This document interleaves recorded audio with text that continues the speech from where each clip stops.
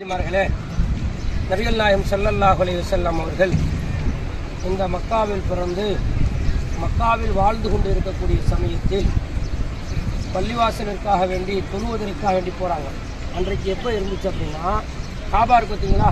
காபாவுக்கு பக்கத்தில் பைத்துல் முக்கத்தஸ் நோக்கி இன்னைக்கு நம்ம காபா பார்த்து தொழுகிறோம் பார்த்தீங்களா? அன்றைக்கு பைத்துல் முக்கத்தஸ் நோக்கிட்ட தொழுதாங்க. தொழுகை கடமையாக்கப்பட்ட பொழுது. அப்போ நபி சொல்லல்லா அலிஸ்லாமுடைய வீடு அவங்களுடைய வாழ்ந்த வீடு எந்த இடத்துல பிறந்தாங்க அப்படின்னா அந்த இருக்காருங்க. அந்த மஞ்சள் கலர் பில்டிங் இருக்கா? அந்த பில்டிங் உள்ள இடத்துல தான் நபி ஸல்லல்லாஹு அலைஹி அவங்களுடைய வீடு அங்கே தான் இருந்துச்சு. அங்கே தான் பிறந்தாங்க அங்கே தான் வாழ்ந்தாங்க. இன்றைக்கு அங்கே என்ன இருக்குகிறது லைப்ரரி நினைக்கிறது லைப்ரரி ஆகி வச்சிருக்காங்க. உள்ளே போக முடியுமா? உள்ளே என்ன செய்ய முடியாது. போக முடியாது. அப்போ அந்த வீட்டிலிருந்து நபி அவர்கள் தொழுகைக்காண்டி வருவாங்க. நீங்கள் நீங்கள் ஊரில் இருக்கின்ற பொழுது புக்கில் பயானில் கேள்விப்பட்டிருப்பீங்க. ஹஜ்ஜுக்கு போறீங்களா? உம்ராவுக்கு போறீங்களா? நீங்க போகின்ற பொழுது பாபு சலாம் கேட்டு போங்க. அங்கதான் நபி அவர்கள் போனாங்க. அப்ப நீங்க கேள்விப்பட்டீங்களா? கேள்விப்பட்டீங்களா? அப்ப நபி அலைஹி வஸல்லம் கேட்டு எங்க இருந்துச்சு? உலகத்தில் உள்ள எல்லா மக்களும் ஒரே கேட்ல போக முடியுமா? இன்னைக்கு பத்து லட்சம் பதினஞ்சு லட்சம் மக்கள் வர்றாங்க. ஹஜ்ஜில் வந்து அறுபது எழுபது லட்சம் மக்கள் வர்றாங்க. எல்லாரும் என்ன செய்ய முடியும்? ஒரே கேட்ல போக முடியுமா? போக முடியாது. அப்போ நபியுடைய கேட்டு எங்க இருந்துச்சு அப்படின்னா அதை காமிச்சிருங்க முன்னாடி. அந்த பாருங்க ஒரு கூரை மாதிரி பச்சை கலர்ல சைஸா போட்டிருக்காங்களா? கீழே கட்டு போட்டு போட்டிருக்காங்களா? அந்த மக்கள் எல்லாம் போறாங்கல்ல? ஆ, கீழே அப்படி கூட இருக்குதா? பச்சை கலர் இருக்கா? ஆமா. கிரீன் கிரீன் அங்க பாருங்க. கிரீன் அது மேல தானே போய் சொல்றீங்க? ஆமா கிரீன் கலர் முன்னாடி அந்த ஜன்னல் குப்பம்ல? மலை. குப்பம்ல? அதுக்கு கீழே தான் என்ன செய்யணும்? எக்ஸலேட்டர் போவோம். சரி ரைட் இங்க பாருங்க. அங்கதான் நபி அவர்கள் போன இடம். அந்த வாசல் இங்க பாருங்க ஐயா நேரா அங்க போறாங்க. அப்படி போகக்கூடிய சமயத்துல ஒரு வயசான ஒரு பெண்மணி குப்பையை குட்டுச்சுன்னு கேள்விப்பட்டோமா? அந்த அம்மாவுடைய வீடு எங்க இருந்துச்சு அப்படின்னா இந்த பாருங்க இதே லைன்ல வந்து அந்த ஓப்பனா இருக்கு பாத்தீங்களா? காலி அது ஓப்பனா இருக்கா? அந்த பில்டிங்ல இடையில அந்த இரும்பெல்லாம் தெரியுதா? அந்த இடத்துல தான் அவங்களுடைய வீடு இருந்துச்சு. நீங்க நினைக்கலாம் அது இன்னும் ஹைர ஹைட்டா இருக்குது. இது பள்ளமாக இருக்குன்னா உடச்சி எடுத்து சரி பண்ணி வச்சிருக்கிறாங்க. அன்றைக்கு இந்த மாதிரி ரோடெல்லாம் கிடையாது. மேட்டில் ஏறி இறங்கிட்டு அதை செய்யணும். நம்ம போகணும். அப்போ அந்த மாதிரி இருந்தக்கூடிய சமயத்தில் அந்த வழியில் வரக்கூடிய சமயத்தில் நம்ம போய் கொண்டு போய் குப்பையை கொண்டு கொடுக்கிட்டே இருப்போம். அப்ப வீடு அங்கே இருந்துச்சு வழியில் குப்பையை கொண்டு போய் கொட்டும். நபியவர்கள் வருகின்ற பொழுது. இப்படியே இருந்துக்கிட்டு இருக்கக்கூடிய சமயத்தில் ஒரு நாள் குப்பை இல்லை. ரெண்டாவது நாள் குப்பை இல்லை. அப்போ நபியவர்கள் என்ன செஞ்சாங்க? ரெண்டு நாள் குப்பை இல்லையே. ஏன் போடலை? அப்படின்னு சொல்லி ஒரு நாள் விட்டுட்டு அணிஞ்சாங்க பக்கத்தில் விசாரிச்சாங்க. எப்பயுமே குப்பை கிடக்கும். இந்த அம்மா தான் போடும். இன்னைக்கு குப்பை இல்லையே. காணுமே. அந்த அம்மாவுக்கு என்ன ஆச்சு அப்படின்னு கேட்ட பொழுதுதான் உடம்புக்கு முடியாம படுத்திருக்கிறாங்க அப்படின்னு பொழுது நபி ஸல்லல்லாஹு அலைஹி வஸல்லம் அவர்கள் அந்த அம்மாவை போய் விசாரிக்கிறாங்க. நமக்கு ஒருத்தர் தீங்கு செஞ்சவன?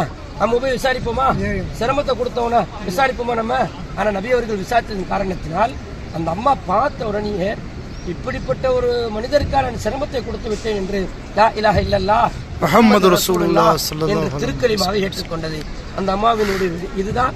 நம்ம நிறைய பேர் என்ன செய்வாங்க தாய்ப்பு சொல்வார்கள் தாய்ப்பு கிடையவே கிடையாது. ஹேர் அலமதுல்லா ஒன்னாச்சுங்களா இரண்டாவதாக நபிகள் நாயகம் ஸல்லல்லாஹு அலைஹி வஸல்லம் அவர்கள் இந்த மக்காவிற்கு வந்து ஏகத்துவத்தை எடுத்து சொன்ன பொழுது அல்லாஹ் சொல்லுகிறான் நபியே உங்களை நான் இணைஞ்சிருக்கிறேன் ரசூல் ஆக்கி வச்சிருக்கிறேன். நபி ஆக்கி வச்சிருக்கிறேன்.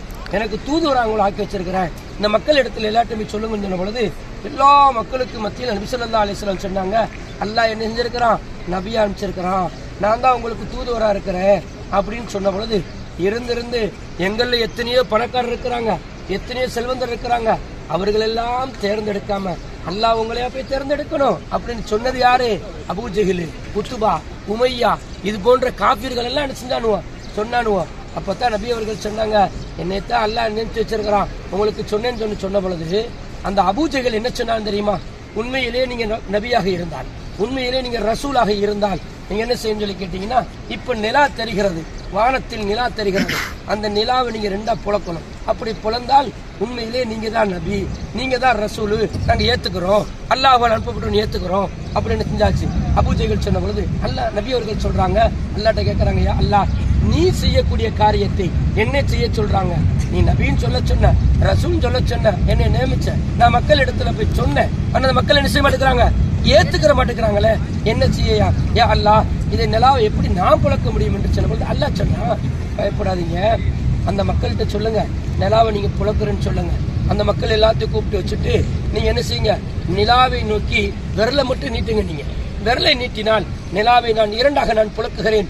என்று அல்லாஹ் சொன்ன பொழுது எல்லா மக்களையும் நபியர்கள் கூப்பிட்டாங்க. எல்லாத்தையும் கூப்பிட்டு ஒரு மலைக்கு மேல நின்னாங்க. அந்த மலைக்கு பேரு அபு குபேஸ். என்ன மலைங்க?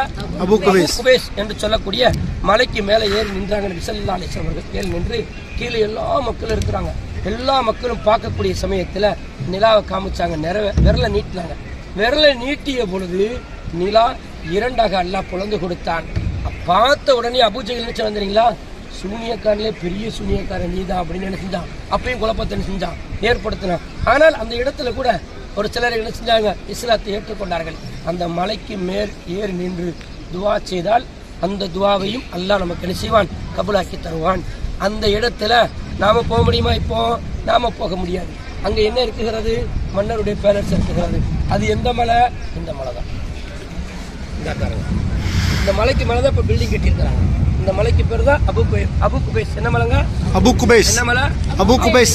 என்று சொல்லக்கூடிய மலை. மாஷா அல்லாஹ் அல்லாஹுடைய விருந்தாளிகளே நம்மெல்லாம் ஊர்ல கேள்விதான் பட்டோம்.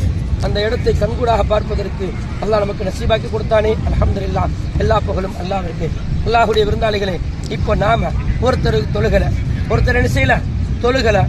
ஒரு தடவை போய் சொல்லுவோம். ரெண்டு தடவை போய் சொல்லுவோம். மூணு தடவை போய் சொல்லுவோம். திருப்பி தொழுவலன்னா நாலாவது தடவை போய் சொல்லுவோமா? சொல்லவே மாட்டேன். ஆனால் நபி ஸல்லல்லாஹு அலிஸ்லாம் அவர்கள் அபூஜைகள் இடத்துல பல முறை. அல்லாஹு அக்பர். நாமெல்லாம் ஒரு முறை இல்லை பல முறை என்ன செஞ்சிருக்கிறாங்க. ஏகத்துவத்தை போய் எடுத்து சொல்லியிருக்கிறாங்க. அபூஜைகள் பார்த்தான். எப்போ பார்த்தாலும் நம்மகிட்ட ஏகத்துவத்தை சொல்லிக்கிட்டே இருக்கிறாரு.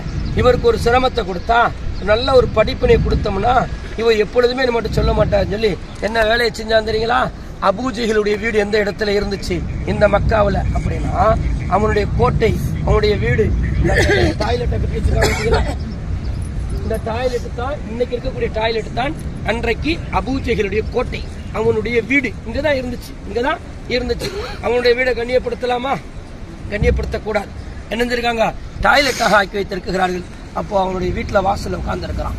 நபிசல்லா நபி யதார்த்தமாக வருகின்ற பொழுது அவனை பார்த்த உடனே ஏகத்துவத்தை போய் சொல்லுவோம் அப்படின்னு போன பொழுது இப்படியே சொல்லிக்கிட்டு இருக்கக்கூடிய சமயத்தில் இவன் என்ன செஞ்சான் அபூஜைகள் அப்படின்னா ஒரு குழியை தோண்டினான். என்ன செஞ்சான்? வீட்டுக்கு முன்னால ஒரு குழியை தோண்டினான். குழியை தோண்டியை மறைச்சு வச்சான்.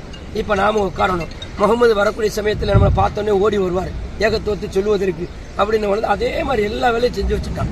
நபி அவர்கள் வர்றாங்க ஏகத்துவத்தை சொல்வதற்கு வந்தபோது இவன் வருவது என்ன நினைச்சான்? குழிக்குள்ள முகமது வில்லணும் அப்படின்னு சொல்லிதான் எதிர்பார்த்துக்கிட்டே இருந்தான். ஆனால் சரியா கரெக்டா வந்து அந்த குழிக்கு மேல காலை வைக்கின்ற பொழுது ஜிப்ரீல் அலைஹிஸ்ஸலாம் நபியுடைய காலை பிடிச்சிட்டாங்க. பிடிச்சு திருப்பி விட்டாங்க. திருப்பி இழுத்துட்டு போயிட்டாங்க.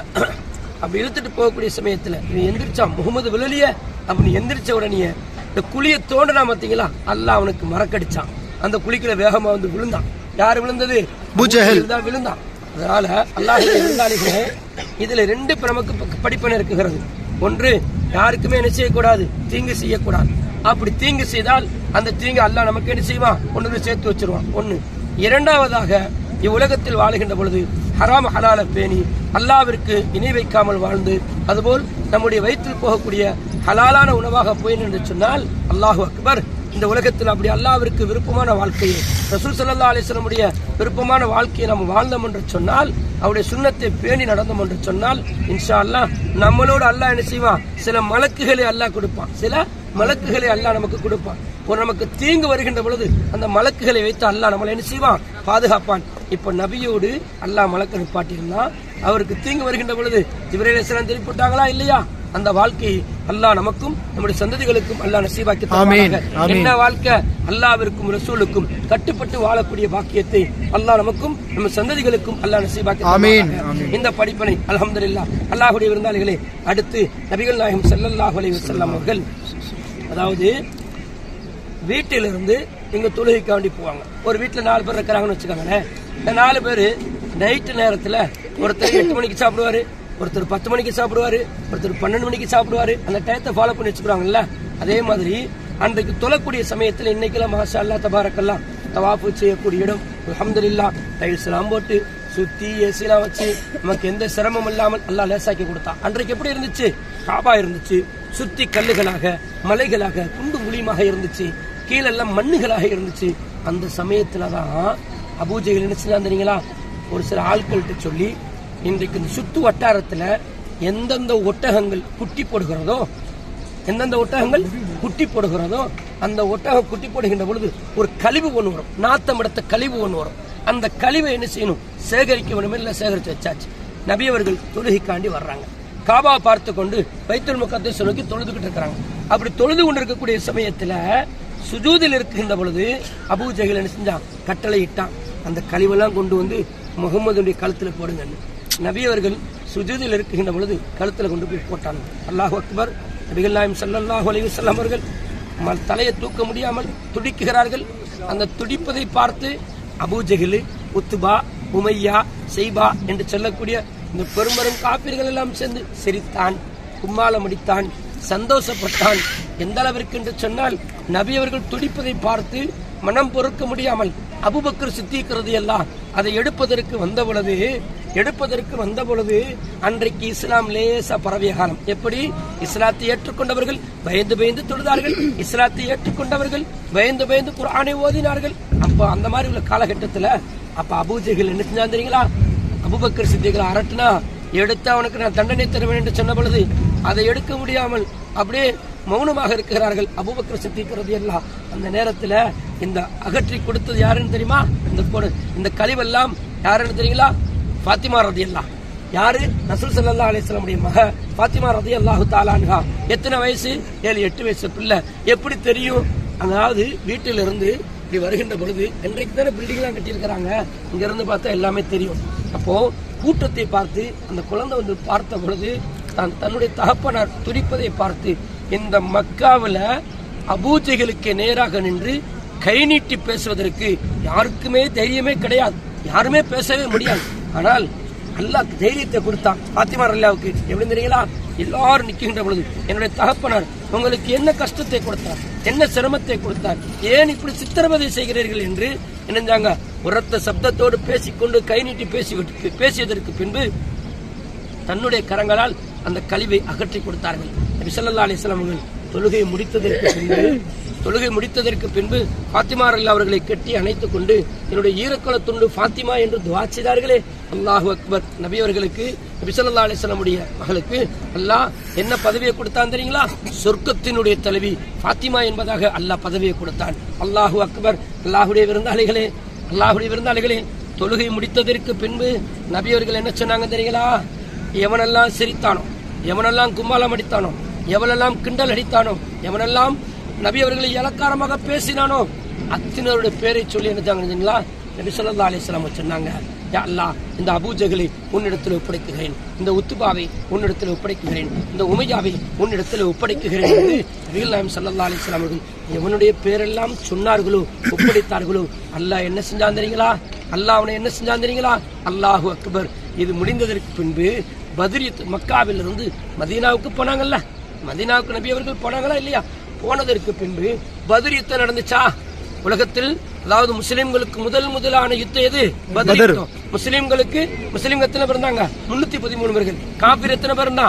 ஆயிரம் பேர் இருந்தாங்க. அந்த நேரத்துல நபி வஸல்லம் என்ன சொன்னாங்க தெரியுங்களா? எல்லா சஹாபாக்களுக்கும் மத்தியில சொன்னாங்க இதுதான் நமக்கு படிப்பினை. இப்ப நாம செய்யக்கூடிய காரியம் இதுதான். என்ன சொன்னாங்க தெரியுங்களா? நபி அவர்கள் சொன்னாங்க இந்த பத்ர் யுத்தத்துல பத்ர் யுத்தத்துல கலந்து கொண்ட இந்த இந்த நபி ஸல்லல்லாஹு அலைஹி வஸல்லம் மக்காவில் பொழுது இந்த குடல கழிவை போட்டான்னு பார்த்தீங்களா? அந்த இடத்துல ஒரு சில சகாபாக்கள் இருந்தார்கள். அப்ப இஸ்லாத்தை ஏற்றுக்கொள்ளாமல் இருந்தார்கள். இஸ்லாத்தை ஏற்றுக்கொண்டதற்கு பின்பு இந்த சகாபாக்கள் மதீனாவுக்கு போனாங்கல்ல? இந்த நிகழ்ச்சியை பார்த்தவங்க அந்த கூட இருந்தவங்க இஸ்லாத்தை ஏற்றுக்கொண்டு மதீனாவுக்கு பொண்ணு பதிரித்தத்திற்கு வந்தாங்களே. பதிரீத்தத்தில் கலந்து கொண்ட சஹாபாக்கள் சொல்கிறார்கள் நபி அவர்கள் தொழுகின்ற பொழுது எவனெல்லாம் அந்த கல்வியை போட்டானோ எவனுடைய பேரெல்லாம் நபி அவர்கள் சொல்லி சொல்லி அல்லாஹ் இடத்துல ஒப்படைத்தார்களோ அத்தனை காபீர்களும் இந்த பதிர் யுத்தத்தில் வெட்டுப்பட்டு செத்து கிடக்குகிறான் என்று சஹாபாக்கள் அறிவிக்கிறார்கள். நாம என்ன செய்யணும் அல்லாஹ்? அல்லாஹ்வுடைய விருந்தாளிகளே அல்லாஹ் இடத்துல துவா செய்யணும்.